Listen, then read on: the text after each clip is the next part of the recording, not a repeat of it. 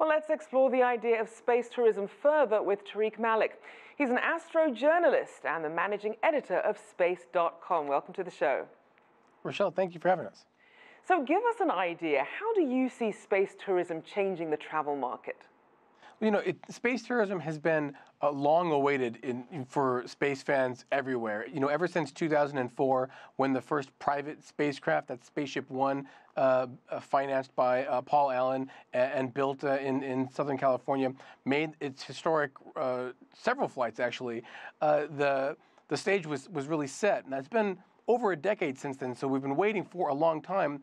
But as you just heard, uh, Virgin Galactic has already begun flying trips to uh, suborbital space. Um, they're poised to really kickstart this industry uh, on, a, on a wider scale. So, how do you even begin to regulate space travel, especially since you have these private firms from all over the world wanting a piece of the action? You know, it, it's really been kind of ad hoc up until now. Uh, several space tourists have flown to the International Space Station for tens of million dollars per flight. And that's kind of the, the only baseline that we've had up until this point. Uh, those missions to the International Space Station have been brokered uh, through Russia's space agency uh, and the U.S. company Space Adventures. And they were really like a one off type of thing where they found a, a multi millionaire customer uh, who went through medical checks uh, and, and spaceflight training, uh, like Anousheh Ansari and, and others, and then had you know, 10, 10 or, or 12 days in space.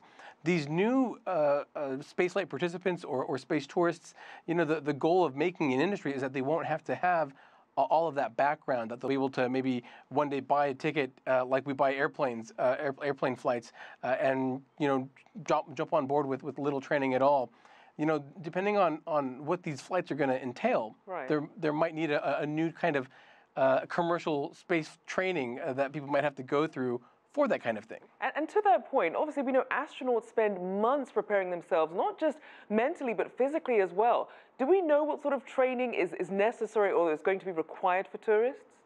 Well, you know, th- there were some, some hints earlier on when Virgin Galactic really began to spin up their, uh, their astronaut experience program. Uh, there were hints that there might be uh, several days of, of training uh, going through centrifuge type of of, of, uh, of, rehearsals to kind of feel what that launch might be like, um, and some some standard uh, medical checks.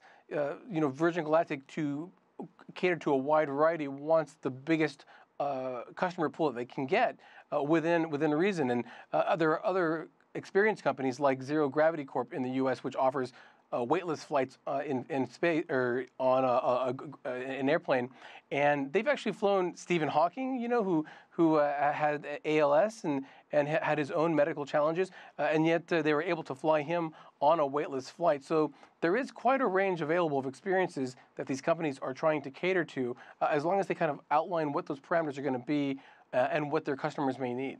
Now, Tariq, I do want to get to this issue of over-tourism. We've seen that here on Earth, a lot of these hotspots like Barcelona and Venice, we've seen a lot of the environmental damage that people do when they come and visit a place and treat it carelessly. Is there any danger of having too many tourists in space, you know, knocking over satellites or, or delicate space equipment? You know, we're not quite there yet, Rachelle, but, you know, the, the idea of, of what space tourists are going to do in space how many get to fly? That's going to be a, a, big question going forward. You know, we know that there's at least 600 people that have been waiting for years to fly just on Virgin Galactic alone. Many people have registered with uh, Blue Origin their interest to buy tickets once they're on sale.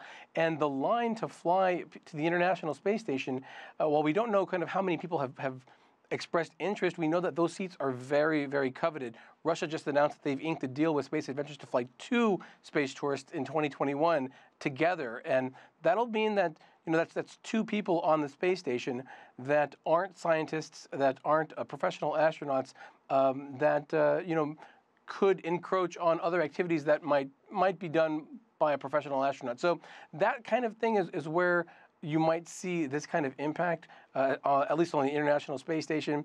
There's not enough spacecraft, uh, not enough flights to the point where it's going to pose a danger yet. But uh, if this really does take off, if there are fleets of these ships flying all the time, um, you know, that it's, it's inevitable that, that some people are going to start to complain. All right. Well, thank you for your insights. Tariq Malik there, astro journalist and the managing editor of Space.com.